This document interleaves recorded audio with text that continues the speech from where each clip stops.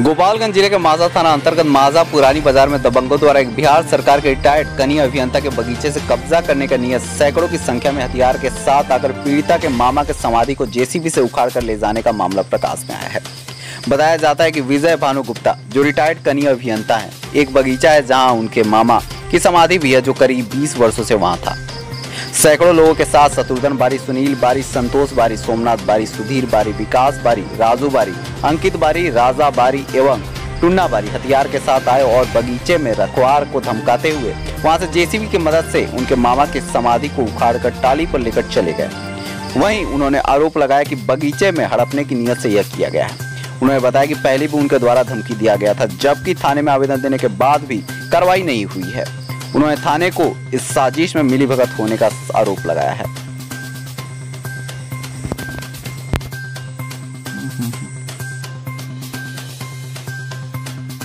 मेरा नाम विजय भानु गुप्ता है और हम रिटायर्ड सहायक अभियंता से अथी हैं बिहार सरकार के और हमारा ये फुलवाड़ी है। ये अभी इस फुलवाड़ी को जो ये आम वगैरह जो है, इसको रखवाली करने के लिए हम दिए हुए हैं। ये लोग रखवाली कर रहा है। कुछ आठ दस दिन पहले आम से, आम मेरा करीब सात आठ क्विंटल थी। बगल वाला जो आदमी है, वो चोरी करके ले गया था रामप्रीत। उसका एफआईआर हम दर्ज किया है पंद्रह छः को। थाना इंचार्ज ने किसी तरह का कोई उस पर कार्रवाई नहीं किया, छोड़ दिया। और पुनः कल तेईस तारीख को यहाँ एक ऑकरेंस हुआ। हमारे मामा जी का यहाँ बहुत एक थी समाधि था, जो बीस बाईस साल पहले से बना हुआ था। उसको ये लोग मिल करके जिसमें बहुत सारे लोग थे, सैकड़ों आदमी, हथियार, हरवे से आकर के क्या किया कि समाधि को बिल्कुल ही क्षतिग्रस्त कर दिया और तोड़ दिया। बहुत सारे आम को भी लोग तोड़ा और लेकर ये ये टेक- ट्रैक्टर ट्राली से लेकर के चला गया। और जो वो जेसीबी वगैरह लाए थे उससे वो अ, अ, मेरे मामा का जो समाधि है उसको एक टेलर पर रख दिया और लेकर के वो लोग भाग गया। और उसके बाद में हम लोग थाना में चले गए। थाना में हमने कल एफआईआर किए भी किया है इस अथी का। उसका किसी तरह का अभी कोई समाधान नहीं निकला है पहले से पहले से विवाद था कुछ उनसे? पहले ये पंद्रह तारीख को हमें एफ़ आई आर किया है यहाँ से आम लोग तोड़ कर ले गया था। कौन उस- ये कौन ये कर रहा है? ये रामप्रीत वगैरह जो बगल के अथी हैं वो किए थे और ये सुनील बारी वगैरह शत्रुघ्न बारी और उनका पूरा परिवार जो है वो था। थाना में एफआईआर दर्ज कराया जी सर। कब कराए थे? अ, कल भी हुआ है और पंद्रह छः को हुआ है। कल तेईस? तेईस छः को हुआ है। थाना कुछ एक्शन लिया? कोई एक्शन सर नहीं हुआ है। वो लोग तो देखने नहीं आ रहा है। हम लोग हमको लगता है कि वो लोग मिल चुका है।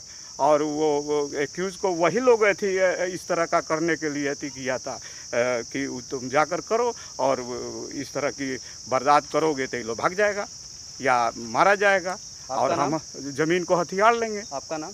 मेरा नाम विजय भानु गुप्ता है और मैं रिटायर्ड सहायक अभियंता से बिहार सरकार से रिटायर किया हूँ सिंचाई विभाग में मैं काम करता था। धन्यवाद। बताइए पूरा मामला क्या है और आपने क्या देखा?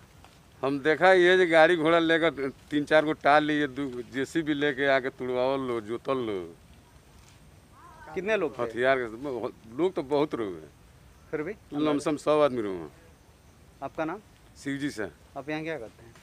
आम पकड़ते हैं। बताइए पूरा मामला क्या है? गाँव के दबंगों द्वारा ये बगीचा कब्जाने के फेर में यहाँ रामावतार शाह का समाधि था।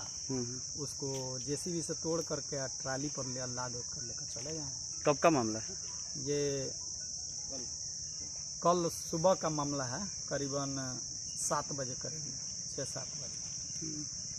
और यहाँ आने पे पता लगा काफ़ी बंदूक और फाठा लाठी सब सामान हरवा हथियार लेकर के आए थे। जो यहाँ शिव जी हैं शिव जी करके अगोरिया करते हैं।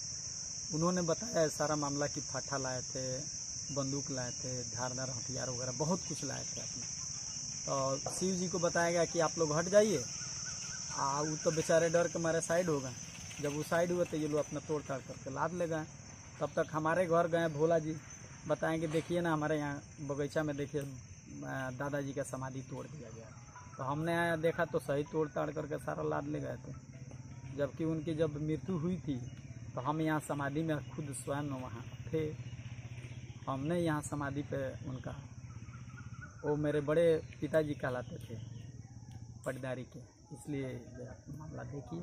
आपका नाम? मेरा नाम देवलाल साह हुआ प्रखंड प्रमुख मान धन्यवाद।